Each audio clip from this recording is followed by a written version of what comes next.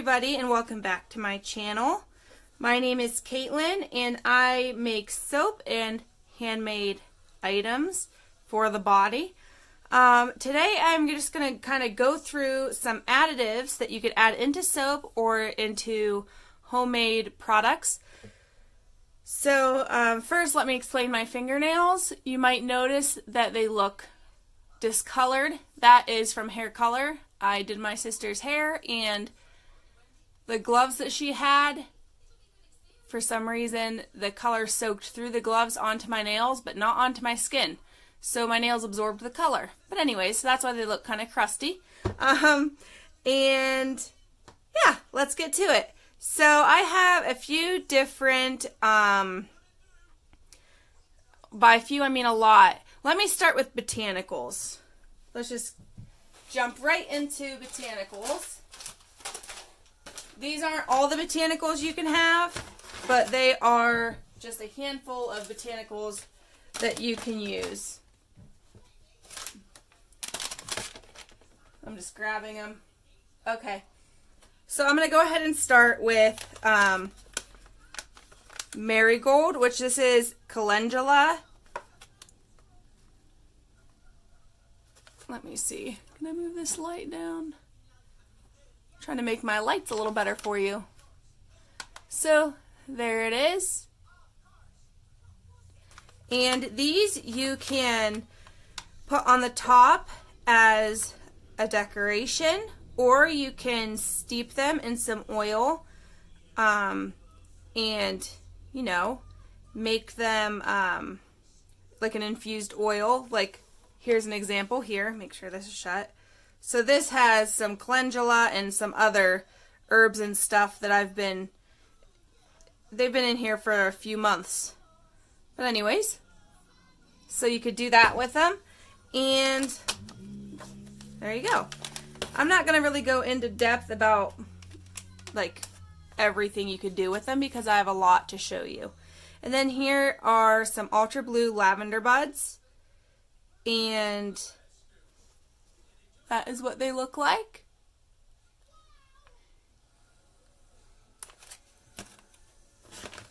Some more calendula petals, just from a different company. Um, I have pink rose petals. Now these are more of like a pinky purple instead of like the red. And then I have here rose buds. The petals are more of like the shredded petal look, and then the buds are whole buds. Jasmine flowers.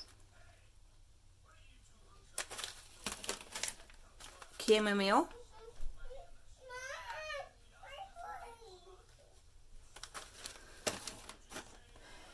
And I'm sure I have more somewhere, but I'm not going to grab them. And then I have um, other things that I guess could still be considered like on the botanical slash herb type of um, category. And that is, let's see here, some tea. You could add tea to soap. You could brew it and make soap with the brewed tea. Or you can throw the loose tea into the soap, which it would make it really abrasive and scratchy. So I suggest not to do it unless you're making like a foot soap. Um, definitely I wouldn't use it like on the face or sensitive parts of the body. But this you could also infuse into oil if you would want to do it that way. So this is um, South African rooibos tea. And what this does is it's just, it's so great for the skin. I like to brew the tea and then um, do a water discount in my soap and then add the tea to the soap and it just makes a really pretty color. It's really gorgeous. Somebody just drove by my house just now as I'm filming and he like looked over in my window because I'm filming like at one of my front windows and my curtains are open and then I have my lights all on. So when they drive by they could see like straight in. And he was like he like glanced over and then he looked away and then he glanced back and like made this face like what in the world is she doing? Because I'm just sitting here talking to myself with a bunch of lights on me. So I probably look like I'm having like some sort of a play or something in my house and they're the audience driving by but anyways So, yeah. So you could get the packets of tea, which is what I have here. I got these from Amazon, and they're individually packaged in here. And then you can get loose tea. Like if you don't want to waste packets, you can buy the loose tea. Now this container is a little dusty dust. That's not dusty. It has um the powder on it. But this is rooibos tea. And it even tells you um, to use a heaping teaspoon per 8 ounces of water. And then you boil it, steep for 6 to 7 minutes, and there you go. So I actually um, make mine extra strong. And that is what it looks like. Smells good. Let's put a light in there for you. There you go. So yeah, smells really good. And it's just a red tea. But I like to use it in my soap that I make for my dad because he has eczema and stuff. So that's really good for that. All right.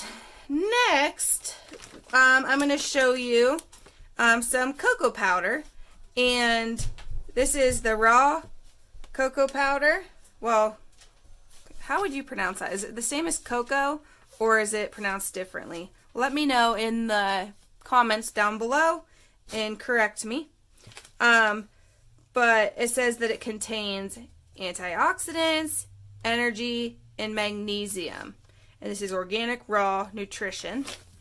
And this is a very, very light powder compared to, you can actually see it right here in the package. Very light compared to this one here, which has cocoa powder all over it. But I got this from Aldi and it's baking cocoa and it's unsweetened and it's a bit darker than the organic one. But it's it's a good colorant, like a natural colorant, and it leaves a mess, which is why all my containers are messy. Let's wipe that up don't have my paper towels handy. Oh, yes, I do. I lied. Oh, well. I'm using my disinfectant wipes to get all that up. Baba, calm down. That's my dog. His name is Tiberius, after James Tiberius Kirk from Star Trek. My, my husband is a Trekkie. And he's looking out the window, and I think he sees the neighbor's dog. Hey, Bubba. Ty. What are you doing? All right. And he's a Rottweiler, so so anyways, so I have here um, all natural turmeric powder. Um, and this is an excellent colorant that makes like a yellowy orange color depending on how much you put in. And yeah, that's why I got it. You can add it to face scrubs or anything too. I like to just use it as a soap colorant and it's a nice beautiful color. It's a nice alternative to micas because there's a lot of controversy around micas. So, you know, use what you want and do your own research. So here is a big bag of activated charcoal. I got this from Amazon, and this is food grade um, activated charcoal. So, yeah, this is one pound, and it's a huge bag, and it'll last me forever. And it was like $10 maybe. But anyways, let me move all of my stuff over.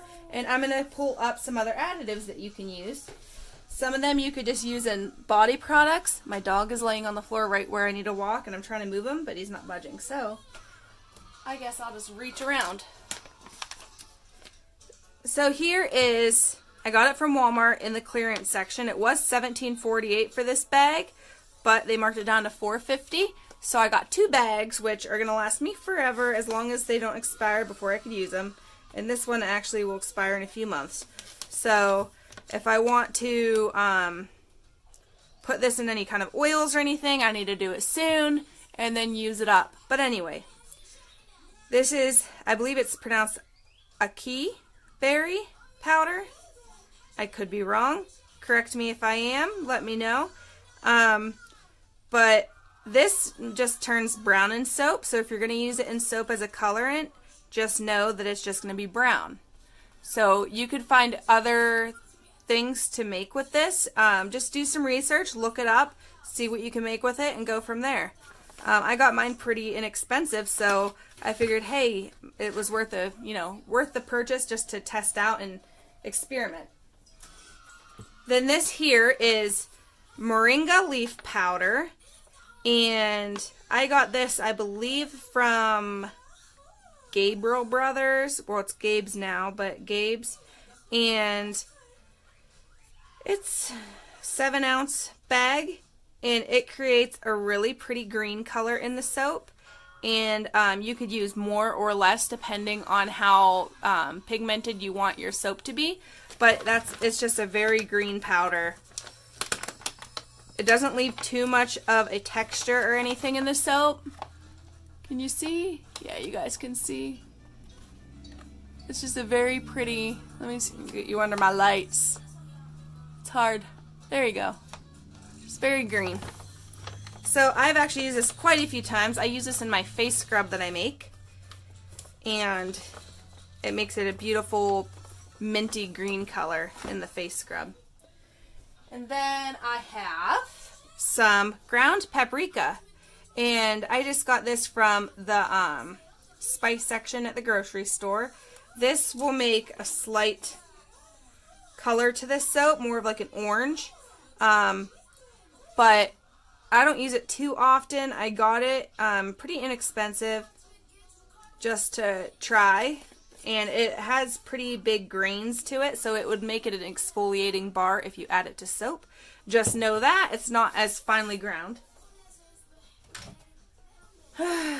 then we have cinnamon powder, and you can use this um, as uh, a colorant in soap it's just going to make it more of a brownish color. So um, just know that if people have a sensitivity to cinnamon, they might not like this.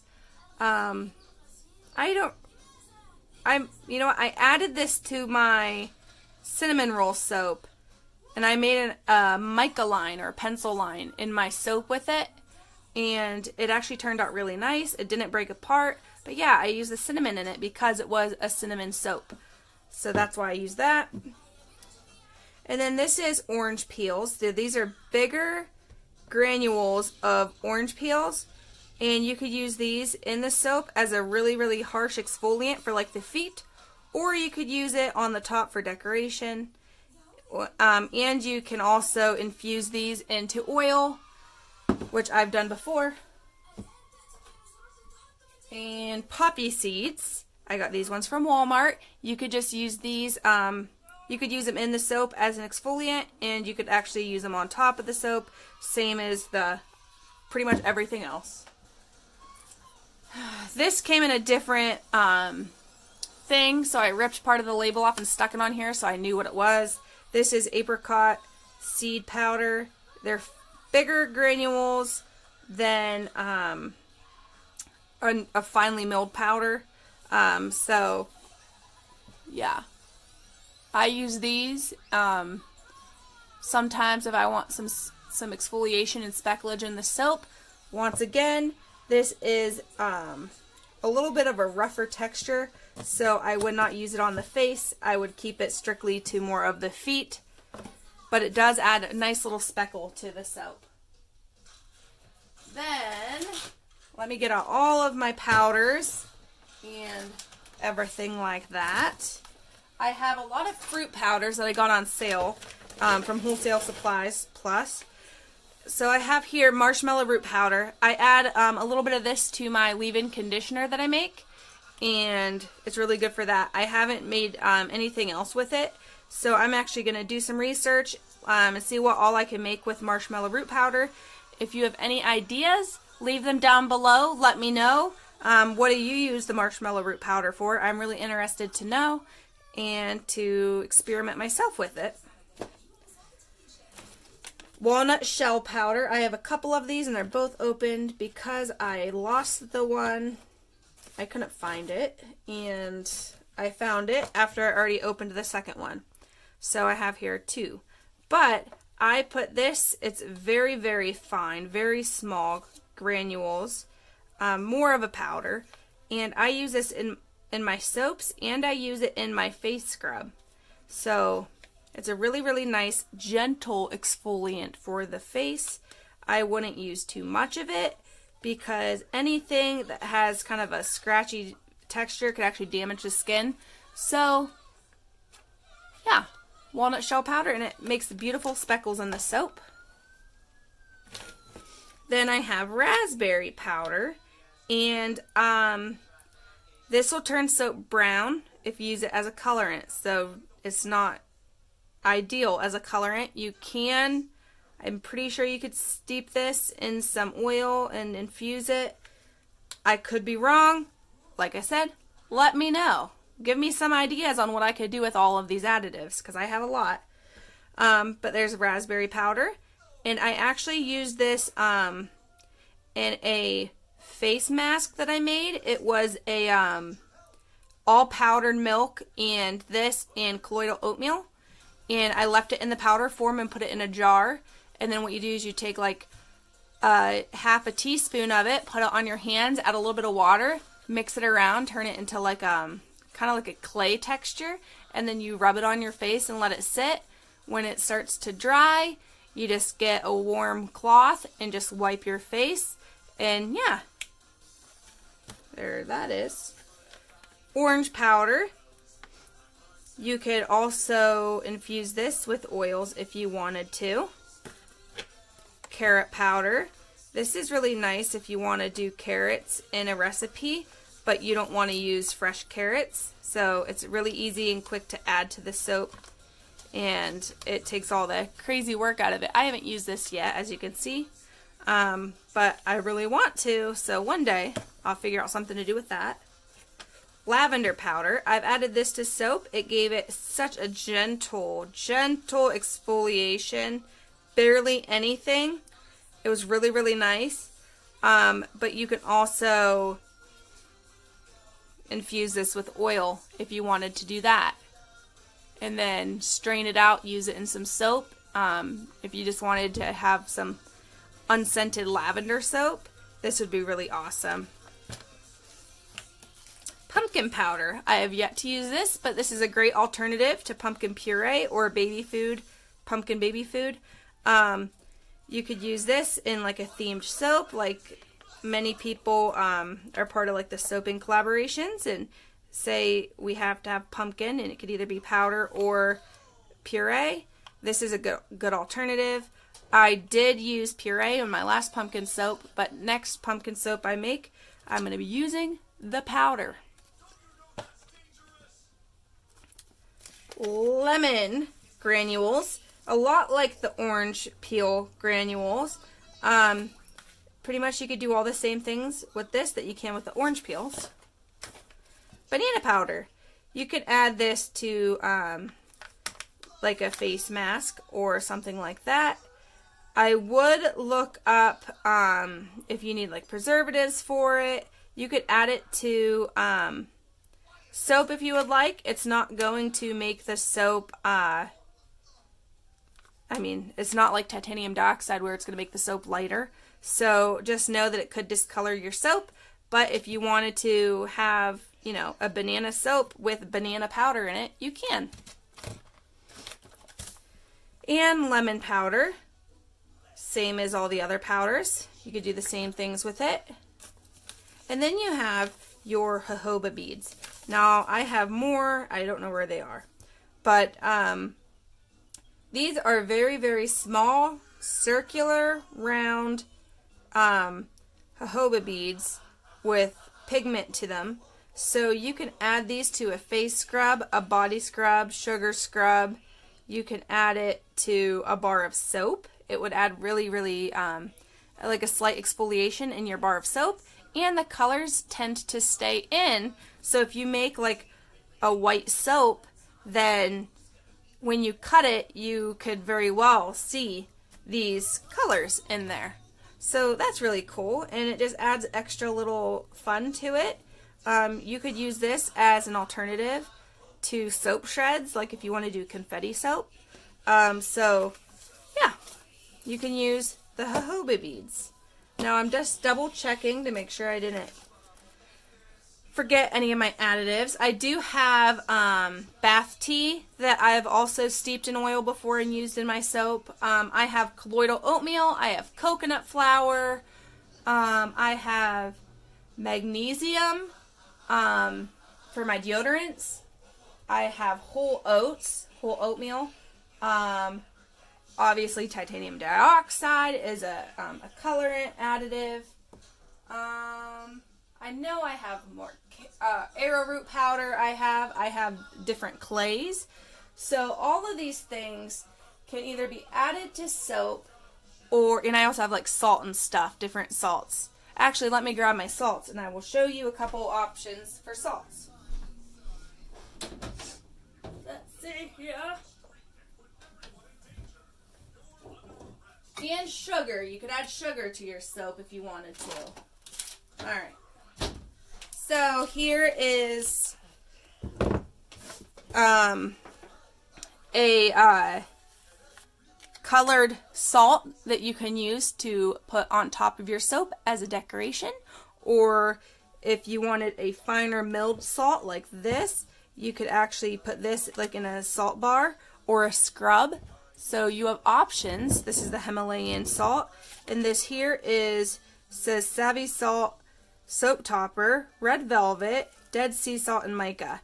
And this is from Soapbox Micas, which is now closed down, but it is another company now. I do not know if she has these, so I'm not going to tell you to go get them from there because I don't know if they're there or not. So, anyways, yeah. So, here's a couple, you know, salt options to top your soap or to put in your soap for a salt bar.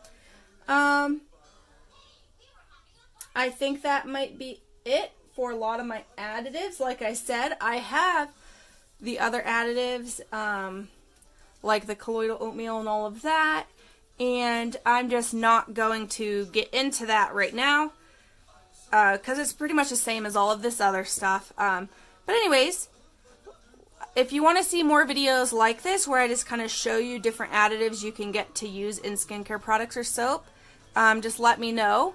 Um, if you aren't subscribed to my channel, go ahead and subscribe. I'm going to have um, all different types of videos that I'm going to be doing, not just soap making, because um, I'm not like a busy business and uh, I do very small batches and I sometimes it'll take me a while to sell out of something, so I don't make soap every day.